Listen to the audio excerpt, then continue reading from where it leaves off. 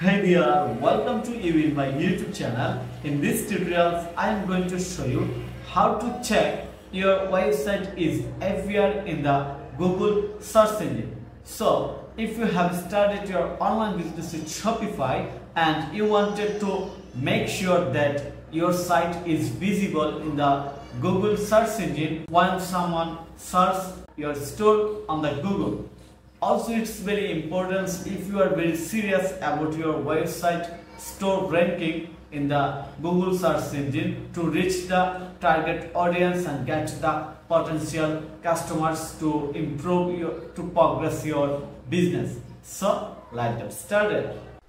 Okay to do this first of all you have to go to google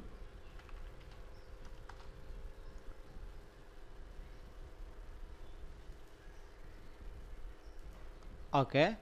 Then you have to type colon and paste your store name or website name.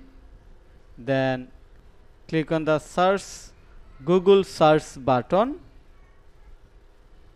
And you can see that this site is visible and appear in the google.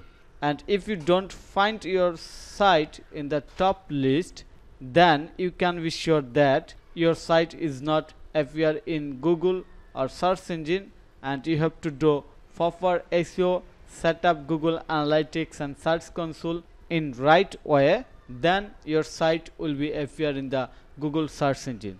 Also it's very important if you want to get more customers more audience and more traffic. So I hope you understand everything very easily so thank you for your time to watch this video if you think this video is helpful then click on the like button and subscribe to my channel and if you need any service support relevant shopify seo or wordpress then you can contact with me have a nice day bye bye